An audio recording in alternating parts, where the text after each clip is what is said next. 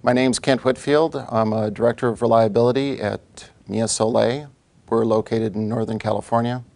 We produce a copper indium gallium diselenide or a CIGS photovoltaic product. It's a thin film PV product. Uh, we're making this entirely in the U.S. at our Northern California facility. Uh, our product is now uh, certified at 10% efficiency. And uh, we've been in operation for several years, but we really started to make some very significant advances in our technology starting about three years ago. Probably the key challenge that thin film or thick film, and because I really think there's a lot of commonality between crystalline silicon products and thin film. The key challenge is cost-effective energy.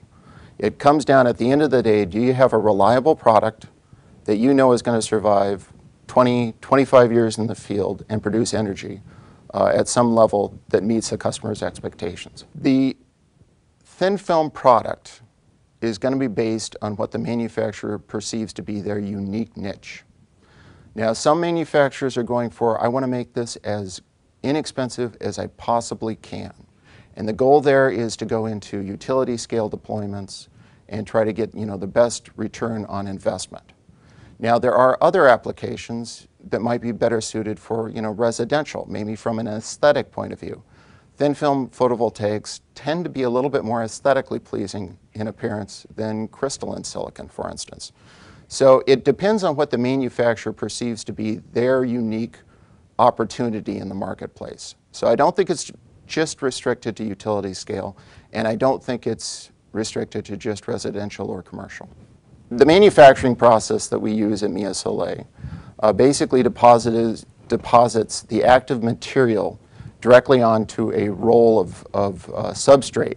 It's stainless steel in this case. And we actually are able to take that roll from raw material all the way through finished active photovoltaic device in one pass. We never break vacuum. We never do any other processing steps, then put it through a piece of equipment that actually produces the uh, active material. And that is roll to roll. What customers need is some sense of assurance that once they make this investment, that they're going to actually be able to see, see their product you know, live for 25 years in the field. So the focus that I see now, probably within the next 10 years, is going to be on the development of standards to address issues about product reliability.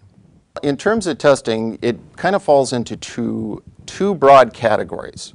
One that's electrical safety, and the other one that's kind of focused on durability and electrical performance issues. And you'll notice I didn't use the term reliability.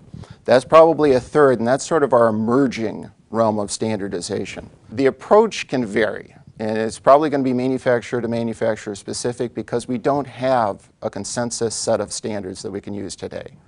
The approach that we take at Mia is to subject the modules to some key stresses that we know exist in the field. And then we test these products all the way until they fail. We determine what is the root cause of the failure do we have the ability to figure out what stress causes this failure to emerge? Can we tie that stress to something that exists in the field? And do we know the level to which it exists in the field? And then can we develop a relationship? And it's from the relationship between the level of stress in the field and the failure mode that we can say, okay, over 25 years, what do we think is going to happen to the product? The failures can be kind of spectacular, you know, glass shattering, parts flying about. Uh, in some cases, like the fire test, where they're actually impinging the product with 1800 degree flames for up to an hour or two, you know, you can see some pretty spectacular failures there too, where, you know, the products will catch on fire, the glass will melt. Um, in terms of their relationship strictly to what customers should expect, we don't normally see very catastrophic issues in the field. We normally tend to see products that kind of gradually decline in their electrical performance over several years of use.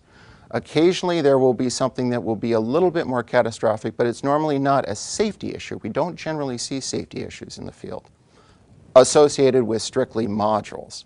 Now we have seen some safety concerns with installation practices that are not, not done well. And those have resulted in, in, in issues. But the modules actually have been pretty reliable this is still a young enough industry that there's still a lot that needs to be done on an experimental basis in order to really achieve the kind of reliability and durability we need of products in this industry.